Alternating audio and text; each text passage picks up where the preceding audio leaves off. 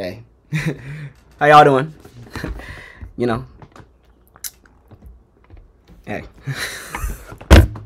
what is this intro? Like what?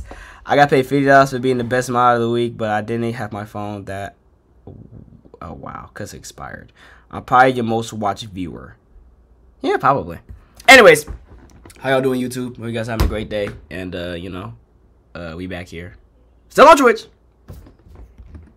Kick might be coming soon, probably not. Anyways, man, we got Degenerocity. This is two weeks old. I know I'm late, uh, but we haven't reacted to him in a minute, man. It's been a minute since we reacted to him.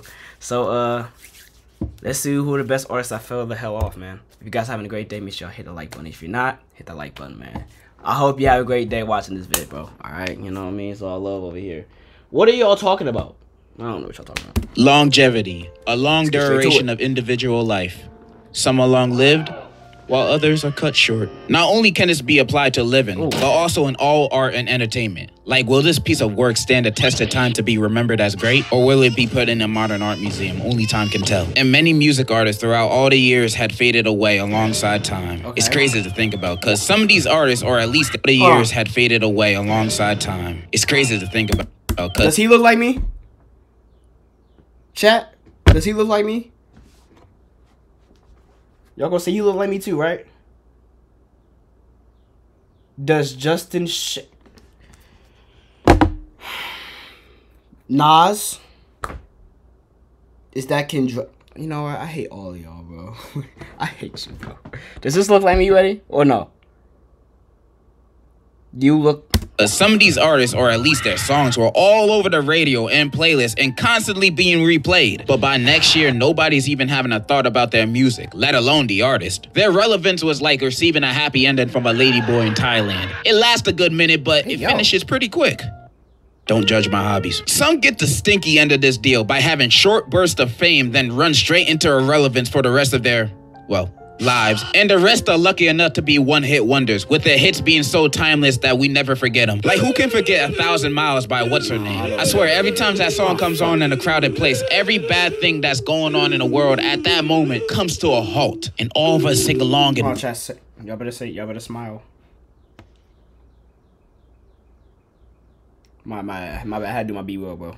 Kind of I was late. perfect sync. This song legit brings world peace. She doesn't need another hit. And Silentó with Watch Me Win, Watch Me boy. Nay Nay. I mean, none of us are playing that song nowadays, but when it was out, it was big. That dude- like all the now that dude convicted felon now. kids were dancing that song, playing it everywhere. You couldn't escape it. And to show how much of a phenomenon this song was, it was played at the biggest award show in the world.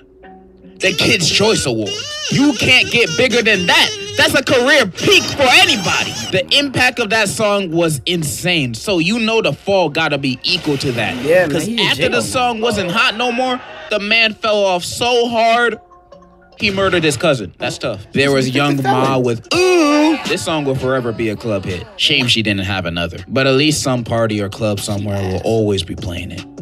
Well, I don't know. I'm not allowed in clubs, so. Estelle's American Boy, it hurts saying she's a one hit wonder, but the song is amazing. Also, with a goaded verse from the GOAT, the song is genuinely perfect. Well, she ain't really a one hit wonder if you count the hits she made on Steven Universe. Oh. But forget everything I just said. When we think about the best art Bro, nah. Cause I used to be the biggest Chance the Rapper fan, bro. I used to be the biggest Chance Rapper fan. This dude fell off so bad. So bad, bro. Like this dude might have been like one of the biggest fall offs I've ever seen. Do you know what young boy and white finna Liddy, I'm about to fucking time you out, bro. But no, but like, see, I had a hold on. I'm gonna find it. I'm gonna show y'all proof. I'm gonna show y'all proof on, on how I was the biggest, biggest Chance Rapper fan, bro. Hold on. Where is it at? Where is it at? I, it's in here. Hold on. Wait, wait a minute, bro.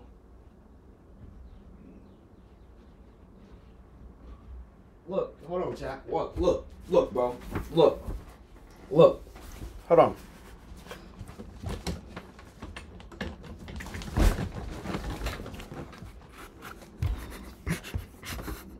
Look, bro.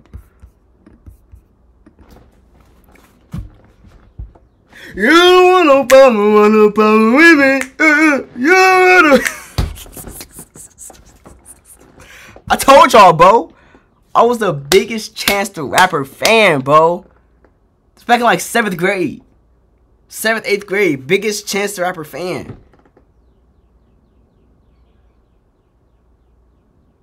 From lit, hey, he's lit. What are you talk? What? I don't care, bro. I'm telling y'all, like I'm not cap. I'm like, bro, I'm not capping, bro. I was the biggest Chance the Rapper fan. Artists to fall off. We think of the ones that had a big breakout song, an album that made people think this okay. person will be here for the long run. They will become a the show. household name, only for them to be in fucking love ass. and hip hop a few years later. I'm sadly talking about Fetty Wap. Fetty. I love Oh! shopping the Fetty Wap, artist that comes from Jersey, represent, and probably the most popular rapper to come from here. Like I was searching New Jersey rappers, and the second result is Fatboy SSE. Who? So, we're, we're kind of lacking. Fetty Wap in 2015 literally blew up the entire hip hop industry with his sleeper hit at the time, Trap Queen, which came out a year prior before it even reached the Billboard charts. And when I tell you everybody was singing this song, it was playing on every radio station, you couldn't escape I it. couldn't in escape- a I good couldn't way. you Fetty, can't bro. tell me everyone and their doctors didn't know the opening six words of Yeah, the refrain of the song. I'm like, hey, what's up. And on April 4th, 2015, the song went number one on the Billboard, beating Pitbull's song. He in jail when now, you beat Mr. Is it Fetty Wap in jail now? How many years did he get?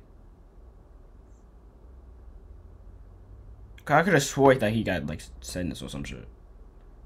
Worldwide in the charts, you're destined for greatness. And number one on Billboard is a crazy feat, don't get me wrong. But this dude still could have been a one hit wonder. Come on, how many other people went number one only to be never heard of again? tough. like, who the hell is the baby? Who? But bro proved everyone wrong. Cause one month after Trap Queen went number one, he released 679 Drake Edition. Now, I have my qualms with Drake, but I like the song. I like the song. Proving he ain't no one hit wonder, but at least two. But soon after that, he released his self titled studio album. Bro did not waste time. He saw the spotlight was on him and he took his opportunity in the Yeah, best way possible. Again, my way. RGF Island. This album was filled with hit songs, or at least songs that would be played all over social media. Like Fetty Wap was basically the go-to artist to use in your Vine back then. And this dude's music was being played all the time on repeat. He was also making the songs he was featured in hits. Like nobody listened to Save That Money for Lil Dicky, let's be honest. We're all listening for that hook. It seemed like this guy was unstoppable, and you could tell he felt that way too. Cause one month after he released his studio album, he released another album. He the was consistency is He was young boy before young boy, Weddy. He was young boy before young boy. Dropping album after album. crazy. And to top it all off, it was a collab album with none other than French Montana. If you don't know who French Montana is, it's that nigga that Diddy cropped out in that one photo, and for good reason. This man is not a good rapper. Never French in your Montana's life so have you been in a car or a function and oh, someone how says, "Hey, put on that new French Montana." You never heard that. And if you have, you need to find new friends. These are the people that are bad influences that your mom and dad were talking about. Go hang out with murderers and drug dealers instead. At least those guys will have a more positive impact on you than a nigga that willingly listens to French Montana. You have free will in this beautiful life you have, and you spend it on that. You can't trust it. Anyways, their album was called Coke Zoo, and it's 13 songs, and it's a two can of ass. Now, Fetty did have a better performance than French on here, obviously, but French had way more songs and verses than him, and overall, the album is just very bland. No song sticks or or stands out. It's just a nothing burger, bro. It has no replay value whatsoever. And after this project, his music slowed down on coming out, which is fine. He don't have to be like YoungBoy releasing an album every three days. in 2016, the next year, he had a good few charting songs he was featured in, and also his own single "Wake Up," peaking at 50 in the Billboard Hot 100. And during this period of time, it felt like the calm before the storm. Freddie was still in people's mouths. He was still performing sold out shows and still charting. He was still very much popular. But after 2016, he kind of faded away out of the public eye more and more. He has released projects since then, but none of them created any buzz because overall, all of them were pretty Mid. meh. But also, there were no hits. See, Fetty Wap was very much a hit rapper, which is not a bad thing. It's just a bad thing when you want a fan base that would actually stay. And since he wasn't making any more hits, more people stopped talking about him. Plus, his new music sounds identical to the rest of his other music. I mean, you can say the same thing for other artists too, but Fetty's music also sounds dated. Like he was a product of his time and didn't try any new sounds or styles with his music to catch up to his own contemporaries. Other than that 2018 6 9 song Kiki, Oh, yeah, he has kind of disappeared from the popular space of That music. And since then, in late 2022, he's pleaded guilty in drug charges Oh, and he's shit, looking at years. five to Oh, 40 yeah. years in prison. That's tough. But also during his fall off, Trap Queen is Diamond. 10 million units sold. So at least he will also have a legacy to look back on in hip hop history. Fetty Wap may have been a victim of falling down the stairs with a mediocre at best discography to look back on. There's another artist that I believe fell off, but on top. Gotye. Gotye was a solo artist from Australia who started his pro music career in 2001 when he released his self-titled EP. And during these years, he sent his EPs to radio stations, building a name for himself up to the release of his debut album, Like Drawing Blood, in 2006. And this album is actually pretty good. The songs have a unique flow and groove to them, and uh, I'm terrible at describing music I like. The music sounds good to my ears. And apparently, others thought the same because this album dude. was pretty successful in the indie space. It was critically acclaimed. yeah, it was yeah. voted best album of 2006 in a listener poll by Triple J, a popular Australian radio station. The track Hearts a Mess was ranked number 8 on the station's Hot 100 of 2006. It also went platinum in Australia. Like bro wasn't a nobody before his real big hit happened, or at least not a nobody in Aussie land. It even won iTunes Album of the Year in the UK in 2008. Bro was kind of a big deal, and he would become an even bigger one once he released his second solo album Oh, in 2011! Making Mirrors, where one of his lead Bye, singles. Justin. I finna go be a mod for another streamer. Oh, I see how it is. I see how it is. I see how it is. I got you. I got you. I got you. I got something for you when you come back. I got you. somebody that I used to know. Well, I didn't know that was. I love this song so much. Now, I wish I could pick a different song as my favorite since I've listened to all of his solo music and also to seem more cultured, I guess. But this is my favorite song from him. No matter how many times I listen to it, even after 10 years later, it doesn't get old. And the whole sound of the 50 song is unique too. Early 2010s pop radio songs were sounding more like electronic EDM dance music, sounding like a youth songs were sounding more like electronic Adam, it's my favorite EDM movie, dance music, Y'all gotta check sounding like that. a YouTube gaming channel intro. You know, a lot of them sound dated too, but not this song. Never this song. And the song did get its flowers, a lot of them too. And after his world tour, all eyes are still on him, especially since he just won the Record of the Year at the Grammy Awards. The people were waiting for more music from him. Except that ain't happened. Bro went radio silent, and Whoa. Not getting ad blocker. Not getting ad blocker. not in a people weren't the fuck? interested in him no more kind of way. No, bro disappeared from everywhere. Social media even started rumors saying he was dead, where he went out of hibernation just to tweet, nah, I'm alive. Then, not long after the tweet, he posted a blog post saying he no longer will be releasing solo music and Gotye will be no more. Huh? This dude just released one of the biggest songs of the decade and now he's quitting? That's. Why? That's like shooting yourself in the foot. What the heck? Well, one, in the post, he said he wanted to only focus working on music with his band, The Basics. By the way, he's in a band. I didn't mention that. And in interviews, he talks as if he doesn't really want the insane fame in the first place, which is fine, I guess, if that's what he wanted. Plus, I bet he can have a steady living for the rest of his life on that one song alone. It's just missed potential. Because Gotye was genuinely a great artist who could have stayed for the long run instead of that one song being mostly his remembered legacy. Like Bronte is a great song and has a greater music video. More people should see this. He still releases music with his band The Basics, but I haven't listened to them yet. Plus, I've heard he's mainly the drummer. But Gotye is a great musician, so I wouldn't be surprised if I do like his band too. And maybe, hopefully, he could release more solo music in the future. All right, I'm gonna stop glazing this dude and move on to the next man, or baby.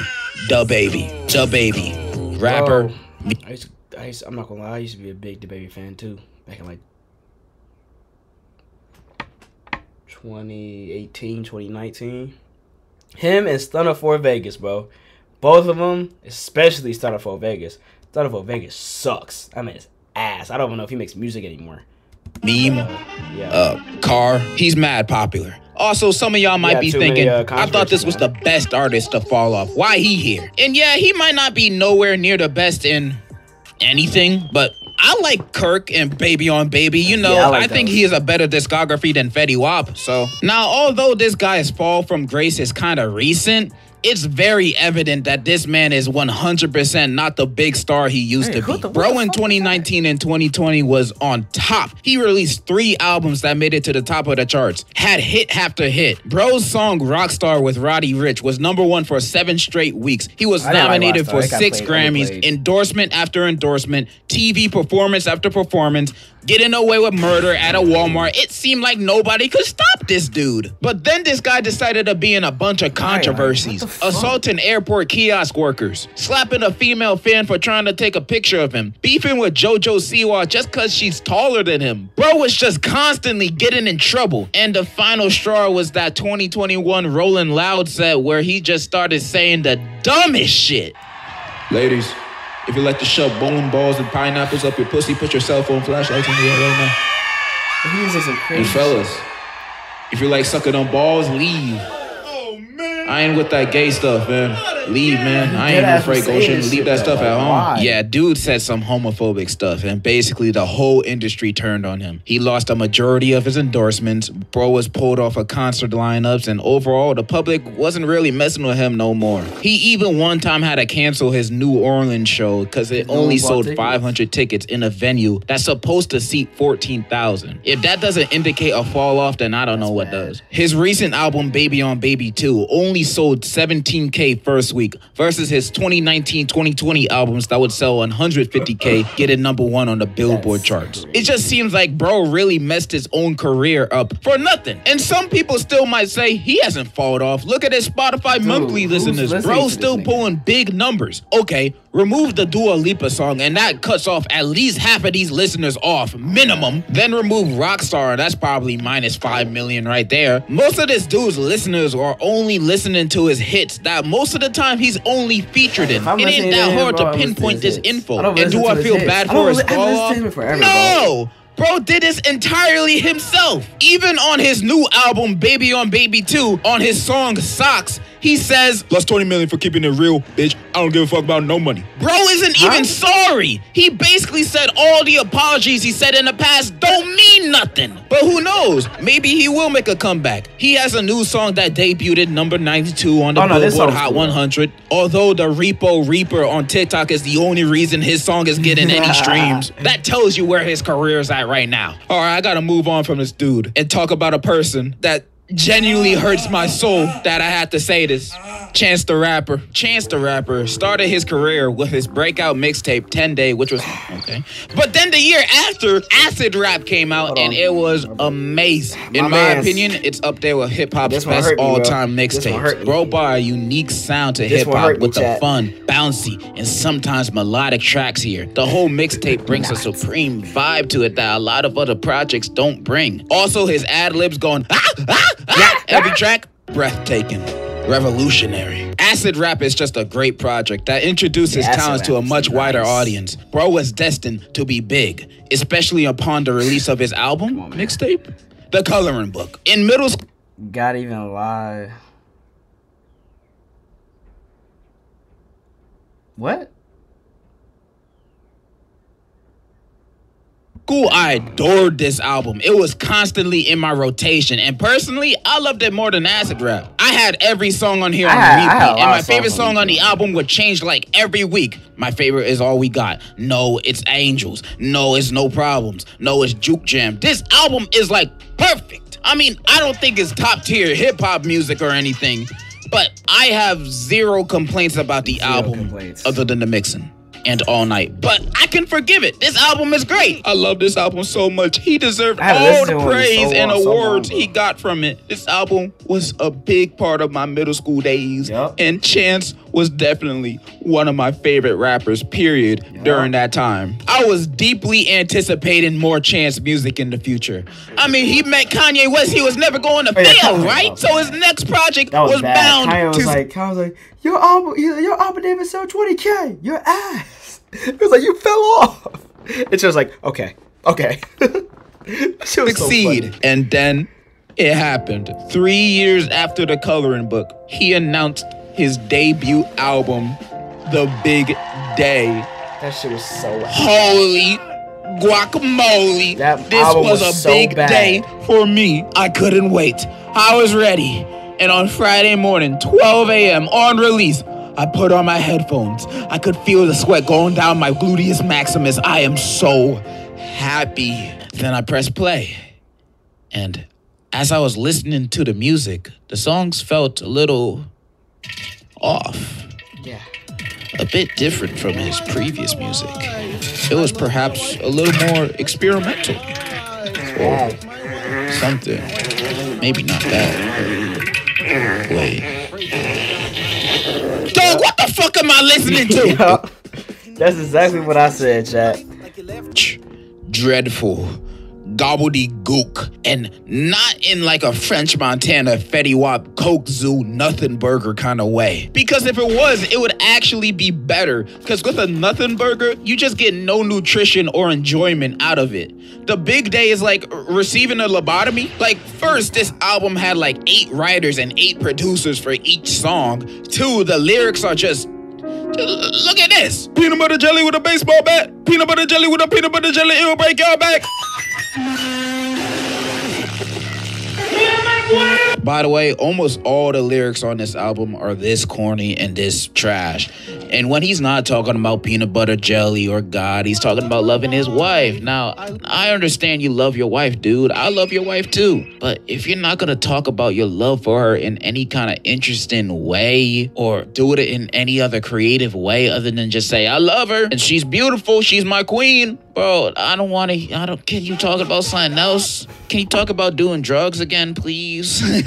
Every song has the same rhythm, tone, feel. It doesn't change or do anything interesting, which is even worse since this album is almost an hour and 20 minutes long. Honestly, this is probably the most disappointing album from an artist I loved was I've ever bad, listened to. Cause even with the Terrible. albums I don't Your like ass. from artists that I love, there's usually a good few tracks I would come back to, you know, that I like, but not this one.